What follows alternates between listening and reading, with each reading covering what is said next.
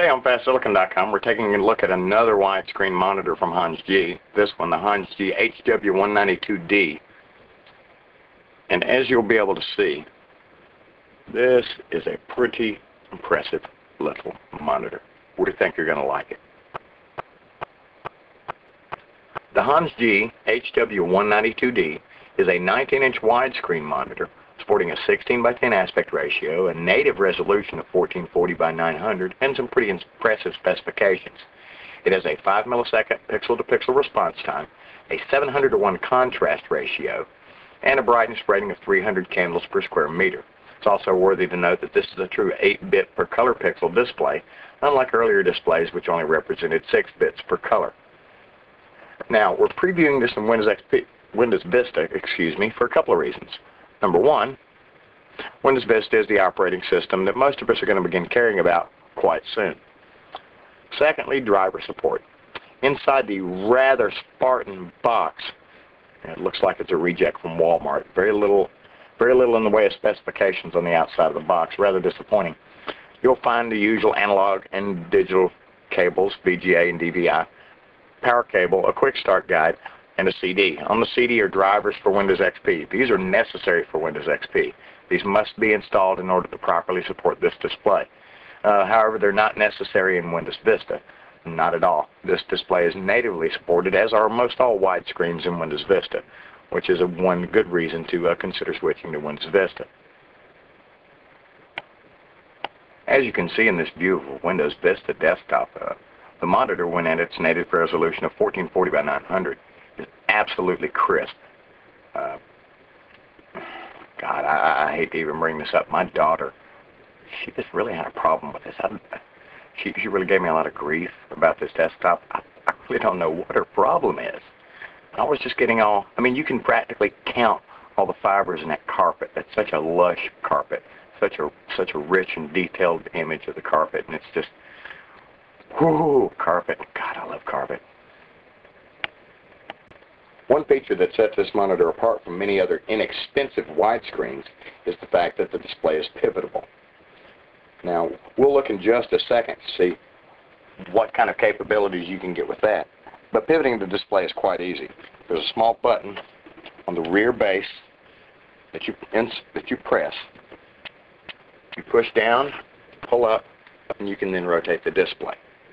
And as you'll see in just a moment, there are some productivity advantages for using this as a primary or secondary display in portrait mode.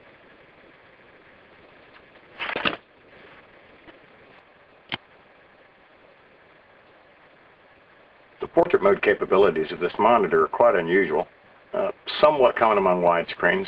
Some widescreens support rotation into portrait mode, some do not.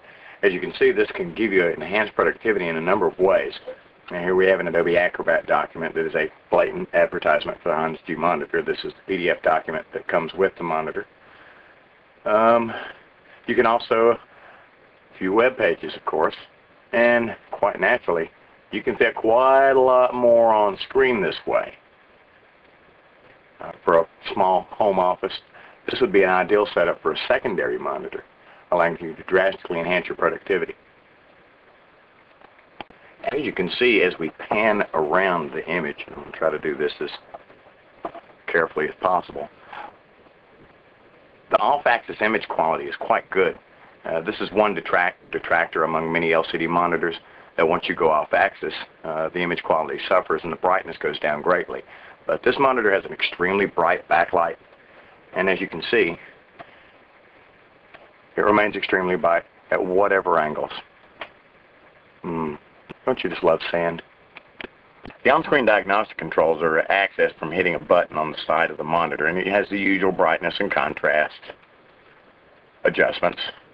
One maddening quality of this thing, I mean, it has brightness, contrast, color settings, some settings for the on-screen diagnostics.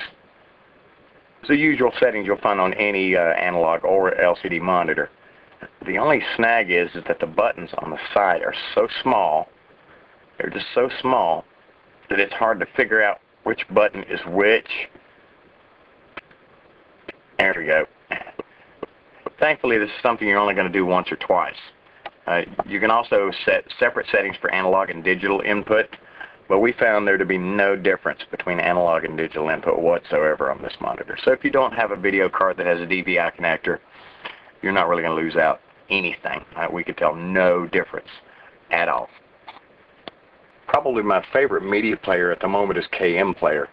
Not only because it doesn't rely on Windows codecs at all, but also because it gives you very fine granular control over aspect ratio.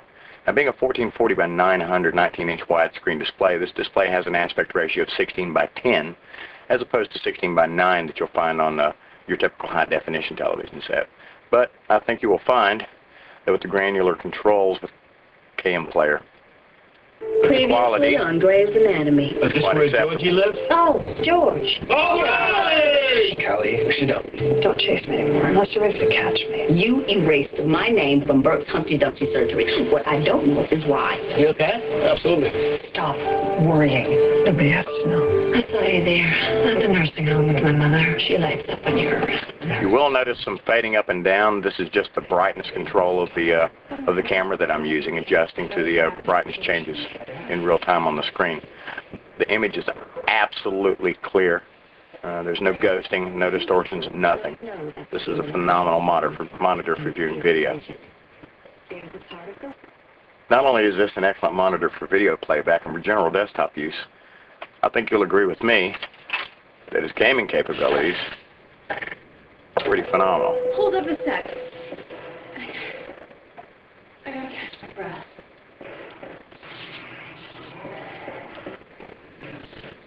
Okay. Well, might not be as easy as I thought. We're in the same boat as the other evacuees now. On foot to a train station. Let's head for the surface.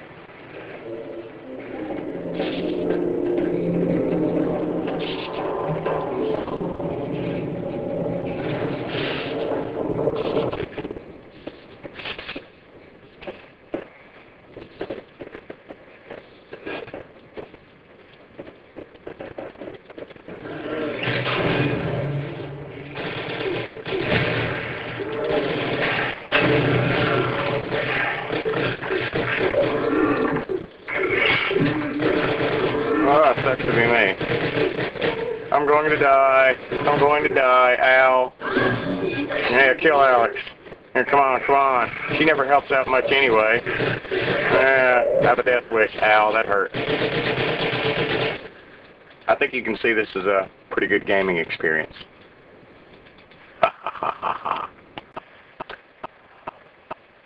All in all, we here at FastSilicon.com have been very impressed with Hans G's monitors. I'm particularly impressed with the HW192D. I've, I've become accustomed to using a widescreen monitor now, and I'm definitely not going back myself personally.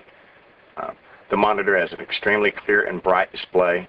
Its off-axis viewing angle capabilities are excellent. Uh, it's absolutely rock bottom price. Uh, this monitor can be found anywhere from around $200 down to around 180, 170. You have to dig, and sometimes deal sites will uh, let you know when these things go on sale.